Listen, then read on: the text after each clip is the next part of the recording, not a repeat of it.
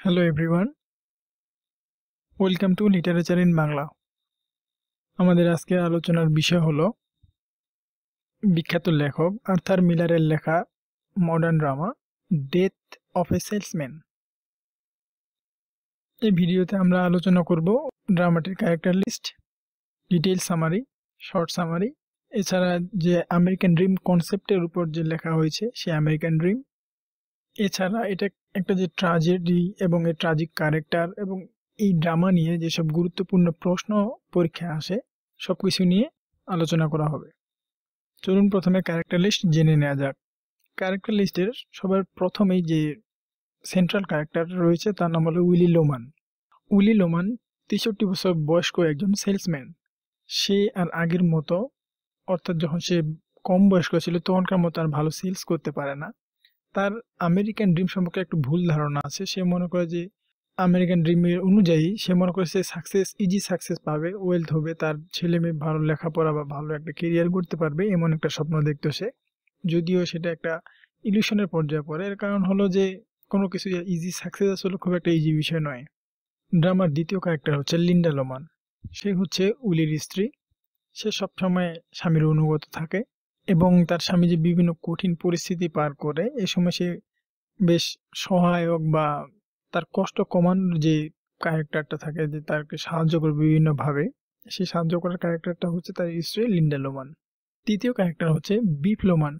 সে হচ্ছে উলি লোমানের সবচেয়ে বড় ছেলে। ছোটবেলায় সে ফুটবল খেলতো এবং সে ফুটবলে বেশ ভালো নাম করেছিল। সে যেহেতু গ্রাজুয়েট ছিল না, সে বিভিন্ন খেতে খামারে অনেকদিন কাজ করেছে। সে ব্যাপারটা ধরতে পারে যে তার বাবা আমেরিকান ড্রিমের সম্পর্কে যে তার বাবার ভুল ধারণা আছে, সেটা সে বুঝতে পারে পরবর্তীতে। এবং এই ড্রামার সে একজন গুরুত্বপূর্ণ ক্যারেক্টার চতুর্থ ক্যারেক্টার হচ্ছে আমাদের গল্পের প্রধান চরিত্র উলি লোমানের ছোট ছেলে, তার নাম হচ্ছে হ্যাপি লোমান। তার বয়স হচ্ছে বত্রিশ বছর। বড় ভাই বিপ লোমানের চেয়ে নৈতিক দিক দিয়ে খুব একটা ভালো নয় এই হ্যাপি লোমান। সে তার চাকরিতে যদিও সে একজন অ্যাসিস্ট্যান্ট হিসেবে কাজ করত সেখানেও সে ঘুষ খেত এবং তার যে ঊর্ধ্বতন কর্মকর্তা ছিল, তাদের গার্লফ্রেন্ড অথবা ওয়াইফদের সাথে সে চতুরতার সাথে ফিজিক্যালি লিপ্ত হতো। এখানে আমরা দুই ভাই অথবা বড় ভাই বিফ এবং ছোট ভাই হেপির মধ্যে শুধু এটুকু পার্থক্য দেখতে পাই যে বিফের মধ্যে তার বাবার যে কয়েকটা কম হলেও ভালো গুণগুলো ছিল, তার কিছু ফলাফল দেখা যায় বা প্রভাব দেখা যায়। হেপিলোমানের ক্ষেত্রে খারাপ যে গুণগুলো ছিল, এগুলোর কিছু প্রভাব দেখা যায়। এছাড়াও ড্রামাটিতে আরও বেশ কয়েকটি গুরুত্বপূর্ণ ক্যারেক্টার রয়েছে, যেমন চার্লি। সে হচ্ছে আমাদের গল্পের হিরো উইলির প্রতিবেশী। সে একজন সফল ব্যবসায়ীও বটে। এছাড়া চার্লির ছেলে আছে বার্নার্ড। সে একজন সাকসেসফুল লয়ার এবং সে বেশ মেধাবী। উইলি যদিও চার্লি এবং তার ছেলেকে একটু হিংসা করতো, অর্থাৎ মন দিক যে তারা সফল হচ্ছে, কিন্তু বার্নার্ড সে কিন্তু আবার উইলির ছেলেদের বেশ ভালো চোখেই দেখতো। এছাড়াও আমরা ড্রামাটিতে পাবো যে উইলির ভাই রয়েছে, বেন। যদিও তার সাথে তাকে সশরীরে ড্রামাটিতে দেখা যায়নি, তার কথা শুধু উইলি চিন্তা করতো যে সে কীরকম ছিল, কীভাবে কি করেছে, এসব আলোচনা আসতো। সে নিজে সরাসরি অ্যাপেয়ার হয়নি ড্রামাটিতে। এছাড়া একজন ওমেনের কথা পাবো, সেও উলি লোমানের চিন্তা এসেছিল, তার কথা বেশ কয়েকবার চিন্তা করেছে। সেই মহিলার সাথে উলি লোমানের এক ইলিসিড লাভ অ্যাফেয়ার ছিল। এছাড়া এরপরে ক্যারেক্টার হচ্ছে হোয়ার্ড ওয়েগনার এই ওয়েগনার হচ্ছে তার কোম্পানির নতুন বস তো উইলি ওয়েগনারের বাবার হয়ে আগে কাজ করত। শেষের দিকে এসে হাওয়ার্ড ওয়েগনার সেই কোম্পানির মালিক হয়। চলুন ডিটেল সামারি জেনে নেওয়া যাক। ডেথ অফ দ্য সেলসম্যান নাটকটি দুটি একটি বিভক্ত এবং এটি চব্বিশ ঘণ্টার মধ্যে সমাপ্ত হয়েছে এমন একটি ড্রামা এবং এর রিকুয়েম রয়েছে যেটি ড্রামা শেষের অর্থাৎ গল্পের শেষের কয়েকদিন পর ঘটেছে এমনটা দেখানো হয়। আর এই ড্রামার সেটিং হচ্ছে নিউ ইয়র্ক সিটি এবং বিভিন্ন তিনটা লোকেশনে ইয়ে হচ্ছে ড্রামাটা বর্ণিত হয়, তার মধ্যে হচ্ছে লোমান হাউস একটা অফিস বিল্ডিং এবং হচ্ছে ম্যানহাত্তানের একটা রেস্টুরেন্টে নাটকের শুরুতেই দেখা যায় যে ব্রুকলিনের অধিবাসী উইলি লোমান পেশা একজন সেলসম্যান যদিও তার বয়স তেষট্টি বছর, তবুও সে সেলসম্যানের কাজ করে, এক স্থান থেকে অন্য স্থানে সেলসের কাজে ছুটে বেড়ায়। কিন্তু সে এবার তার সেলসের জন্য যে সময়টুকু নির্দিষ্ট ছিল, সেই সময়ের পূর্বেই বাসা চলে এসেছে। অর্থাৎ সে পূর্ণভাবে সম্পন্ন করতে পারেনি। কারণ হচ্ছে সে বা পর্যাপ্ত পরিমাণ সেলস করতে পারছে না। ইদানিং সে নিয়ম মাফিক বেতনও পায় না। এর কারণ হলো সে যেহেতু খুব ভালো একটা বিক্রি করতে পারছে না, সেজন্য সে বেতনটা ঠিকমতো পাচ্ছে না। কমিশনের কাজে যা একটু আয় হয়, তা দিয়ে তার মোটামুটি দিন চলছে। আর এবারের তার একেবারে বিক্রি হচ্ছিল না জন্য সে চলে এসেছে। সে এবারে প্রায় অর্থহীন অবস্থায় ফিরে এসেছে। উলির ছেলে বিফ গত দশ বছর ধরে পশ্চিমের বিভিন্ন ক্ষেত খামারে কাজ করেছে। তার বাড়ি ফেরার কিছুদিন হলো এবং সে এই পর্যায়ে এসে আবার নতুন কিছু কাজে নিজেকে নিয়োজিত করতে ইচ্ছা প্রকাশ করতেছে যে সে নতুন কিছু কাজ করবে। অপরদিকে তার ছোট ভাই হ্যাপি, যার বয়স বত্রিশ বছর, সেও বাসায় এসেছে। হ্যাপির ক্ষেত্রে একটু সমস্যা হলো, সে একজন অ্যাসিস্ট্যান্ট হিসেবে কাজ করলেও সে লোকের সামনে বাড়িয়ে বাড়িয়ে কথা বলে তার পজিশন এবং অথরিটি নিয়ে।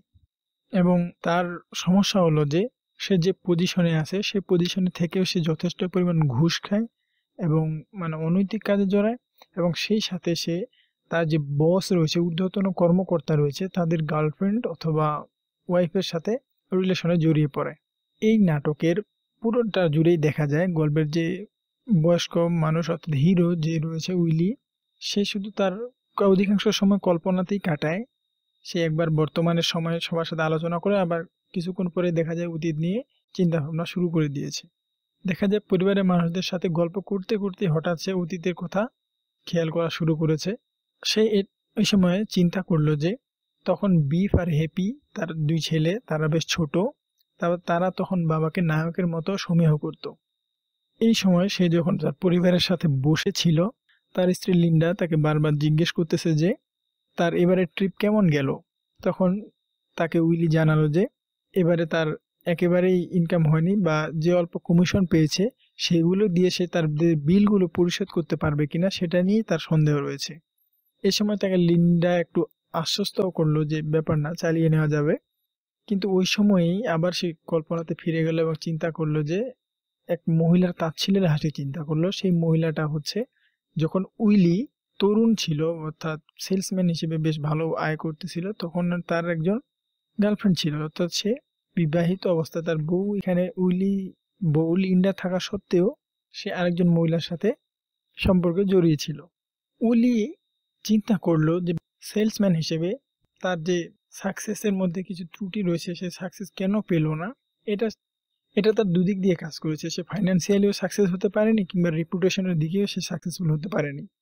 এবং তার বউয়ের সাথে সে কথা বলার পর সিদ্ধান্ত নিল যে এ ব্যাপারে সে তার বসের সাথে আবার দেখা করবে এবং তাকে বলবে যে তার, অর্থাৎ সে যে অন্য জায়গায় গিয়ে সেলস করতো, সেটা যেন তার বস কমিয়ে এনে নিউ ইয়র্কে দেন। অর্থাৎ জায়গাটা চেঞ্জ করে তার বাসার কাছেই কোথাও দেন, যেন তার বেশি পরিশ্রম করতে না হয়। এ সময়ই তার প্রতিবেশী চার্লি যিনি একজন সফল ব্যবসায়ী, তিনি উলিকে দেখতে এলেন এবং উইলির সাথে কার্ড খেলা শুরু করলেন। এই কার্ড খেলতে খেলতেই আবার উইলির মনে পড়ল তার ভাইয়ের কথা। তার ভাইয়ের নাম ছিল বেন, যে সতেরো বছর বয়সেই বাড়ি ছেড়ে পালিয়ে চলে যায় এবং বিশ্বের ঘরেই থাকা অবস্থায় সে একজন ধনী ব্যক্তিতে রূপান্তরিত হয়। এর কারণ হলো সেই আফ্রিকায় হীরা খননের কাজ করে প্রচুর অর্থকরী কামিয়েছিল এবং তার ভাইয়ের ধনী হওয়ার কথা চিন্তা করে চিন্তাটা তার মাথায় আসলে উল্লি যে নিজে কতটা ব্যর্থ সেটা তার বারবার মনে চলে আসে। এখন এই কার্ড খেলতে খেলতে তার সাথে বসা চার্লির বুঝতে পারল যে উইলির অবস্থা বা ফাইন্যান্সিয়ালি সে খুব একটা ভালো নেই, তার মানসিক অবস্থা খুবই খারাপ। এই জন্য তার কথা চিন্তা করে সে তাকে একটা জবের অফার দিল যে, তুমি আমার এখানে একটা জব করো। কিন্তু উইলি ছিল একটু প্রাউড টাইপের সে তার কাছে ছোট হবে বা তার যে, সে যে আসলে ফাইন্যান্সিয়াল ক্রাইসিসের মধ্য দিয়ে যাচ্ছে সেটা না বুঝতে দেওয়ার জন্য সে তখন সাথে সাথে বলে দিল যে সে তার জব করবে না। লিন্ডা তার দুই ছেলেকে নিয়ে আলোচনায় বসল। লিন্ডা লুমান তার দুই ছেলেকে জানালো যে উইলির মানসিক ভারসাম্য দিন দিন আরও অবনতির দিকে যাচ্ছে। সে তার ছেলেদেরকে এটাও বলল যে উইলি এরই মধ্যে একাধিকবার আত্মহত্যার চেষ্টাও করছে। একবার গাড়ি নিয়ে সে বের হয়েছিল আর একবার ওয়াটার হিটারের যে রাবারের নল আছে সেটার সাথে শ্বাসের গ্যাস টেনে নিয়ে আত্মহত্যা করার চেষ্টা করছিল।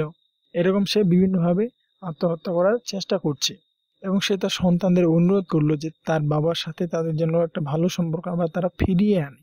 এরপর উইলি যখন ঘরের ভিতরে আসলো, তখন বিফ তাকে জানালো যে সে তার পুরনো বস বিল অলিভারের কাছ থেকে কিছু টাকা ধার নেওয়ার চেষ্টা করবে এবং সে টাকা দিয়ে সে এবং তার ছোট ভাই হ্যাপি খেলাধুলার সামগ্রীর ব্যবসা শুরু করবে। এবং ওই সময় তারা সে যে পরিকল্পনা, পরিকল্পনাটা বলল, এই পরিকল্পনায় তাদের বাবা তাদের উপর সন্তুষ্ট হলো। এবং ওই দিনই উইলি লোমান তার স্ত্রী লিন্ডা লোমানের জোড়াজুড়িতে সে সিদ্ধান্ত নিল যে সে তার মালিকের সাথে দেখা করতে যাবে। এবং সে তার বস হাওয়ার্ড ওয়েগনারের কাছে গেল। সে নিউ ইয়র্কের অফিসে সে তার বাড়ির কাছে কাজ করতে চায় তার বয়স হয়েছে, এই কথাটা সে তাকে বুঝিয়ে বলতে গেল। এবং দেখা গেল যে হাওয়ার্ড ওয়েগনার সে রাজি হলো না। সে বলল যে সেটা পারমিট করবে না, তাকে যেখানেই তার কাজ পড়বে সেখানেই করতে হবে। তখন উইলি তাকে বোঝানোর চেষ্টা করল যে তোমার বাবা যখন এখানে মালিক ছিল তখন থেকে আমি কাজ করি। মানে সে পূর্বের উদাহরণ দিতে গিয়ে ওয়েগনারকে আরও রাগিয়ে দিল এবং সে যেহেতু নিজে বর্তমানে তেমন খুব একটা কাজ করতে পারছিল না, এজন্য ওয়েগনার তাকে পুরোপুরি বরখাস্ত করে দিল। অর্থাৎ তাকে আর কাজই রাখবে না, কাজ থেকে সে চাকরিচ্যুত হলো।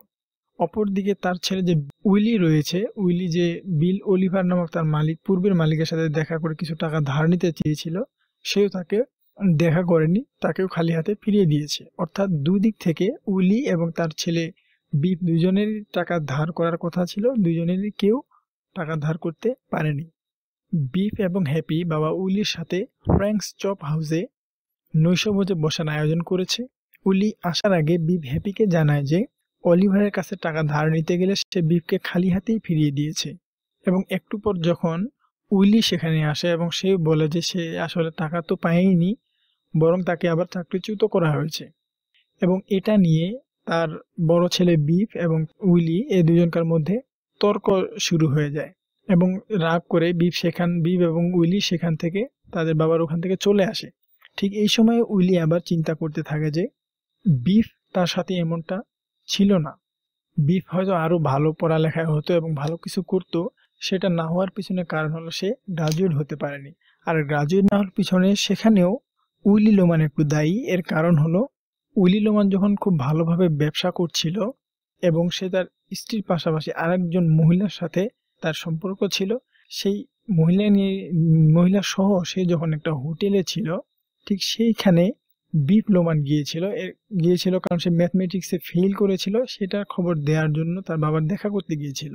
আর ঠিক ওই সময়ে উলি লোমান ওই মহিলা সহ হোটেলে ছিল। আর তাদেরকে খুব একটা খারাপ অবস্থায় বিপ দেখে ফেলে।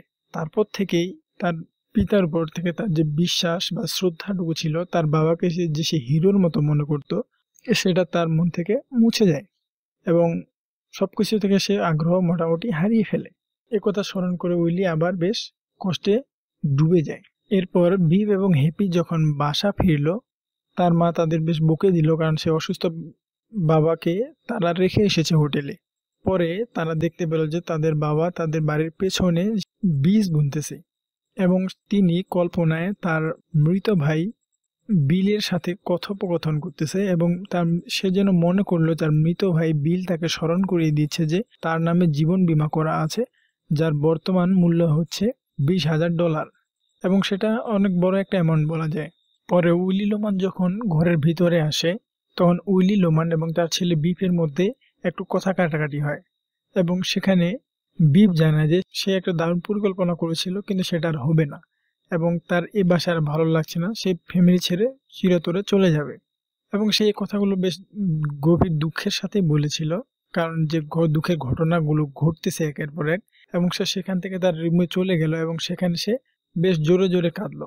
তার এই কান্না উলি লোমানের মধ্যে পরিবর্তন নিয়ে আসলো এবং সে যে একটু আগে দুই হাজার, বিশ হাজার ডলারের কথা চিন্তা করতেছিল যে তার মারা গেলে সে এতগুলো ইন্স্যুরেন্সের টাকা পাবে এবং সে সেখানে একটা প্ল্যান তৈরি করে নিল যে সে এমনভাবে সুইসাইড করবে যেন সেটা অ্যাপ্লাই করে তারা ইন্স্যুরেন্সের বিশ হাজার ডলারগুলো পায় এবং সেই বিশ হাজার ডলার পেলে বিফ এবং তার ছেলে হ্যাপি যে গুডসের ব্যবসা করতে চাচ্ছে, সেটা সফল হবে এবং তার ফ্যামিলির যত সমস্যা ছিল সব সমাধান হয়ে যাবে। এজন্য সে আত্মহত্যার পরিকল্পনাটা প্রস্তুত করে। শুধু পরিবারের কথা ভেবেই। উলি লোমান ছিল নিজে একজন সেলসম্যান সে সারা জীবন পণ্য বিক্রয় করেছে এবং শেষ পর্যন্ত ফ্যামিলির জন্য সে নিজের জীবনকেও একটা পণ্যের সাথে তুলনা করেছে এবং সে নিজের জীবনকেও মূল্যের বিনিময়ে শেষ করতে চলেছে। এবং সবাই যখন ঘুমাতে চলে গেল। উলি লোমান ধীরে ধীরে তার গাড়ির কাছে গেল এবং গাড়ি নিয়ে দ্রুত বের হয়ে গেল এবং সে ইচ্ছাকৃতভাবে কার অ্যাক্সিডেন্ট ঘটালো এবং আত্মহত্যা করল। এখান থেকে মোটামুটি প্লেটি শেষ হয়, তবে এর পরে একটু রয়েছে যাকে আমরা রিকুয়েম বলা হয়। রিকুয়েম বলা হয়েছে প্লেতে। রিকুয়েম হচ্ছে যে আমাদের দেশীয় ভাষা বলতে গেলে যেটা হয় যে মৃত ব্যক্তি মারা যাওয়ার কয়েকদিন পর সাধারণত দোয়ার অনুষ্ঠান করা হয় সবাই মিলে। সেখানে সবাই মিলে মৃত ব্যক্তির জন্য প্রার্থনা করা হয়। ঠিক সেরকম এই রিকুয়েম দেখানো হয়েছে, যেখানে তার পরিবারের সদস্যরা, প্রতিবেশীরা সবাই এসেছিল। চার্লি, তার ছেলে বার্নার্ড সবাই এসেছিল এবং তার সম্পর্কে সে কীভাবে ভালো ছিল মানে উলি লোমার সম্পর্কে বিভিন্ন কথা বলছিল এবং অনেকেই তার সাহসিকতা সহ বিভিন্ন ব্যাপার প্রশংসা করল এবং সে যে সেলসম্যান হিসেবে যথেষ্ট চেষ্টা করেছে, সেটা সেটা বলল। শুধু তার ড্রিমটা ছিল ভুল, সে আমেরিকান ড্রিমের পিছনে ছুটেছিল এবং মনে করেছিল যে ইজি সাকসেস সে পাবে। আমেরিকান ড্রিমে যেমন বলা হয়েছিল যে সবার জন্য উন্নত জীবন থাকবে, বাসা থাকবে, ছেলেমেয়েরা উন্নত লেখাপড়া করবে। সেটা সে ভেবেছিল যে হুট করে দৈবক্রমে কোনো কিছুতে হয়ে যাবে, সেটা আসলে তার জীবনে হয়নি। এবং শেষ পর্যন্ত উইলির নিজেকে স্যাক্রিফাইস করতে হয়েছে, তার ফ্যামিলিকে সব কিছু থেকে ফাইন্যান্সিয়াল ক্রাইসিস ও অন্যান্য কিছু থেকে মুক্ত করতে। এখন ডেথ অফ সেলসম্যানকে যদি আমরা অতি সংক্ষেপে পুরো সামারিটি আলোচনা করি, সেটা হবে যে বয়স্ক হওয়ায় সেলসম্যান হিসেবে উলি লোমান খুব একটা ভালো পারফরমেন্স করতে পারতেছিল না, তার সেলস হচ্ছিল না। এই জন্য সে বাসায় চলে আসে। অপরদিকে তার ছেলে বিফ বড় ছেলে, সে যদিও শক্ত, সমর্থ এবং দেখতে সুন্দর হ্যান্ডসাম কিন্তু সে পড়ালেখা ভালো করতে পারেনি পরবর্তীতে, যদিও সে একজন খেলোয়াড় ছিল স্কুল পর্যায়ে এবং পরবর্তীতে সে দশ বছরের মতো পশ্চিমে খেতে খামারে কাজ করে এবং সে এই মুহূর্তে বাসায় এসেছে আর তার ছেলে হ্যাপি লোমান যে একজন অ্যাসিস্ট্যান্ট হিসেবে কাজ করত, সে ওই সময় বাসায় ছিল, সে আর চাকরিতে নেই এবং সে খুব একটা ভালো ছিল না চাকরিতে। তার নৈতিক অবনতি ঘটেছিল। এখন উলি লোমান তার দুই ছেলেকে নিয়ে আলোচনা করছে কীভাবে, কি করা যায়। এবং উলির যেহেতু বয়স হয়েছে, আমরা এই কথা জানি যে মানুষ বয়স্ক হলে তার মাথায় বিভিন্ন সময় বিভিন্ন ধরনের চিন্তা চলে আসে। ঠিক সেরকম সে একবার অতীতের কথা চিন্তা করত। তার ভাই কীভাবে ধনী হয়েছে, তার প্রতিবেশী চার্লি এবং তার ছেলে বার্নার্ড কীভাবে ধনী হলো বা হচ্ছে এবং তার কল্পিত যে আমেরিকান ড্রিম যে সে হুট করে কোনো দৈবক্রমে বা কোনো খুব সহজেই সাফল্য লাভ করবে, এটার পিছনে ছুটত সবগুলো নিয়ে খুব একটা পেঁচিয়ে ফেলেছিল। এবং পরবর্তীতে সে তার নতুন বস অর্থাৎ বসের ছেলে যে বস হয়েছিল পরবর্তীতে, তার দ্বারা সে চাকরি হারায় এবং বিপ টাকার ধার করতে চেয়েছিল সেটাও হয় না। সব মিলে তারা যে পরিকল্পনা করেছিল, দুই, তার দুই ছেলে মিলে যে তারা ব্যবসা করবে সেটাও করতে পারছিল না। তখন উইলি লোমান, সে জানতো যে তার নামে জীবন বিমার বা ইন্স্যুরেন্স লাইফ ইন্স্যুরেন্স করা ছিল, যেটা থেকে সে মৃত্যুবরণ করলে বিশ হাজার ডলার পাবে তার ফ্যামিলি এবং সব কিছু চিন্তা করে সে এটাই নির্ধারণ করেছে যে সে নিজেকে উৎসর্গ করবে, অর্থাৎ সে সুইসাইড করবে তার পরিবারকে ফ্রি করার জন্য। এবং সে সেটাই করে, পরবর্তীতে সে কার নিয়ে বেরিয়ে পড়ে এবং কার অ্যাক্সিডেন্ট ঘটায়, আর সেই অ্যাক্সিডেন্টে সে মৃত্যুবরণ করে। একজন সেলসম্যান হিসেবে সে যে সফল ছিল তা নয়, এবং তার এই সিদ্ধান্ত খুব একটা যে ভালো সেটা বলা যাচ্ছে না। যদিও তার এই সিদ্ধান্তই তার ফ্যামিলিকে সব কিছু থেকে মুক্ত করেছে প্রায়। এবার আমরা আলোচনা করব আমেরিকান ড্রিম নিয়ে। আমেরিকান ড্রিম কনসেপ্টটা বলতে এটাই বোঝায় যে সেখানে বলা হয়েছে যে আমেরিকার মানুষ তার প্রত্যেকের একটা করে বাড়ি থাকবে তাদের ছেলেমেয়েরা ভালো লেখাপড়া করবে সুযোগ সুবিধা সমান সবার জন্য থাকবে। এছাড়া একটা উন্নত, একটা মানুষ সাধারণত কল্পনায় যেরকম নিজেকে ভালো দেখতে চায়, এরকম সব কিছু বৈশিষ্ট্য ওটার মধ্যে ছিল। কিন্তু উইলি লোমান ভাবতো যে এটা খুব সহজেই অ্যাচিভ করা যাবে এবং সে তার সেলসম্যান দ্বারা, তার ছেলেরা দৈবক্রমে হয়তো কোনো ভালো কিছু করে ফেলবে, এভাবে তারা তাদের অর্থনৈতিক উন্নতি ঘটাবে। কিন্তু সেটা আসলে হয়নি। এটা হওয়ার কথাও না, কারণ সাকসেস ইজিলি আসে না। আর এই আমেরিকান ড্রিমের ইলুশনে ভোগার ফলেই দুর্ভোগ নেমে আসে উইলি লোমানের জীবনে। এখানে ডেথ অফ অফ এ সেলসম্যানকে বলা হয় ট্রাজেডি। এর কারণ হলো এখানে ট্রাজিক ক্যারেক্টার উইলি লোমান রয়েছে। তাছাড়া ট্রাজেডির যে অন্যান্য বর্ণনা রয়েছে, যেটা আমাদের মধ্যে পিটি এবং ফেয়ার তৈরি করবে। এখানে পিটি এবং ফেয়ার পাওয়া যায় যে উইলি লোমানের কি দুরবস্থা, তার সব কিছু বিবেচনা বা শারীরিক, মানসিক অবস্থার আমাদের মধ্যে এক ধরনের পিটি তৈরি করে। এছাড়া প্লটের দিক দিয়ে ট্রাজেডির প্লট যে থাকে প্লটের প্লটও ক্লাসিক প্লট অনুসরণ করেছেন আর্থার মিলার এবং সময় সহ সব কিছু ভালোভাবেই তিনি অনুসরণ করেছেন। তবে ট্রাজিক ক্যারেক্টার হিসেবে সেটি খুব একটা পারফেক্ট হয়নি। এর কারণ হলো যে অ্যারিস্টটলের যে ট্রাজিক ক্যারেক্টার রয়েছে, অ্যারিস্টটল বলেছিলেন একজন ট্রাজিক ক্যারেক্টার হবে হাই বর্ন অথবা নোবেল বর্ন হবে, সেটা উইলি লোমান ছিল না। এছাড়া কোনো মেজর ফল্ট বলতে যেটা বোঝায় সেটা উইলিয়মানের মধ্যে ছিল না। তবে মেজর ফল্ট বলতে ওই আমেরিকান ড্রিমের পেছনে যে ছোটার ব্যাপারটা বা সেটা নিয়ে তার একটু ভুল চিন্তা ভাবনা ছিল, এটা তার মধ্যে একটা ফল্ট ছিল, যেটাই অবশ্য তার জীবনে ট্রাজেডি নিয়ে আসে। এছাড়া অ্যারিস্টটলের মতে ট্রাজিক হিরো হবে খুব একটা ভালো না, আবার খুব একটা খারাপও না। উইলিয়মানও ঠিক তেমন ছিল যে সে একেবারে নোবেল ম্যান যে ছিল তা না, সে তার ফ্যামিলিকে উদ্ধার করার জন্য জীবন পর্যন্ত দিয়ে দিল। আবার সে যে একেবারে খুব খারাপ সেটাও না, আবার খুব ভালো যে সেটাও না, কারণ তার স্ত্রী থাকা সত্ত্বেও সে আরও মহিলার সাথে তার সম্পর্ক ছিল। এছাড়া আমরা ট্রাজেডিতে দেখতে পাই যে, অনেক ট্রাজেডিতে কোরাস থাকে। এখানে যে শেষের রিকুয়েলটা ব্যবহার করা হয়েছে, সেটা অনেকটা কোরাসের ভূমিকা পালন করে। তাই আমরা বলতে পারি যে, অবশ্যই উইলি লোমান একজন ট্রাজিক ক্যারেক্টার এবং এটি একটি ট্রাজেডি তবে এটি পরিপূর্ণভাবে ট্রাজেডি কিংবা একটা যে ট্রাজিক ক্যারেক্টার হিসেবে যে উইলি লোমান রয়েছে, সেটা ক্লাসিক ট্রাজিক ক্যারেক্টারকে পুরোপুরিভাবে ফলো না করলেও উইলি লোমান একটি ট্রাজিক ক্যারেক্টার আপনারা যারা আমাদের চ্যানেলটি এখনও সাবস্ক্রাইব করেননি, তারা নিয়মিত ভিডিও এবং আপডেটস পেতে চ্যানেলটি সাবস্ক্রাইব করুন এবং পাশে থাকা বেল আইকনে ক্লিক করতে ভুলবেন না। এছাড়া আমাদের ফেসবুক পেজে কানেক্টেড থাকতে পারেন এবং ওয়েবসাইট লিঙ্কে ভিজিট করতে পারেন। এই লিঙ্কগুলো ডিসক্রিপশন বক্সে পাবেন। আর ভিডিওটি ভালো লাগলে অবশ্যই লাইক কমেন্ট শেয়ার করতে ভুলবেন না। ভিডিওটি দেখার জন্য আপনাকে অনেক ধন্যবাদ।